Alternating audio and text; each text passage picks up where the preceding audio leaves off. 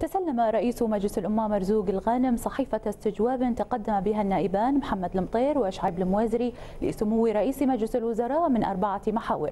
وأعلن الغانم خلال الجلسة التكميلية لمجلس الأمة اليوم أنه تم إدراج الاستجواب على جدول أعمال الجلسة المقبلة من دور الانعقاد المقبل.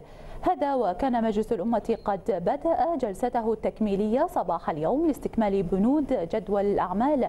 ومن المقرر أن يتصدر تقرير لجنة الميزانيات بشأن اعتماد الحساب الختامي للإدارة المالية للدولة وميزانية الوزارات والإدارات الحكومية للسنة المالية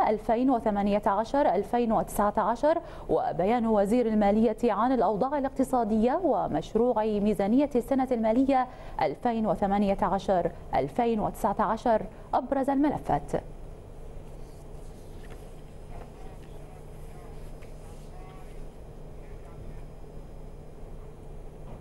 ومعنا من مجلس الأمة زميل نواف الشراكي مراسل تلفزيون دولة الكويت نواف هل تطلعنا على الصورة من حولك وإلى أين تسير جلسة اليوم؟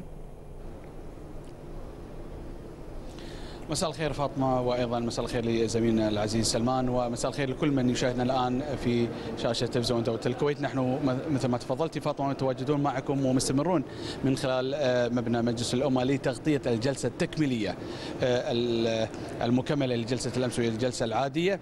آه، فاطمة كما تفضلتي في حول جلسة اليوم قبل أن أتكلم عن حيثيات الجلسة هناك كان طلب حقيقة أعلن عنه رئيس مجلس الأمة في بدايات الجلسة هناك طلب بأن تكون الجلسة اليوم هي الجلسة الختامية وجلسة دور فض, فض دور الانعقاد الثاني للفصل التشريعي الخامس عشر لمجلس الأمة. وعلى أن يكون تكون هي الجلسة الختامية بعد أن يكون المجلس قد أنهى جميع بنود أعمال وجدول أعمال جلسة اليوم. وقد وافق المجلس على هذا الطلب. أما فيما يتعلق في موضوع صحيفة الاستجواب التي تقدم بها النائبان محمد براك المطير والنائب شعيب المويزري الموجه إلى رئيس مجلس الوزراء والمتكون من أربعة محاور. آه، آه، هذه الصحيفة أعلن عنها أيضا في آه، الجلسة السيد مرزوق الغانم رئيس مجلس الأمة وحدد لها أن تكون هي أدرجت صحيفة الاستجواب أن تكون على الجلسة المقبلة. لدور الانعقاد المقبل لمجلس الأمة وهو دور الانعقاد الثالث للفصل التشريعي الخامس عشر.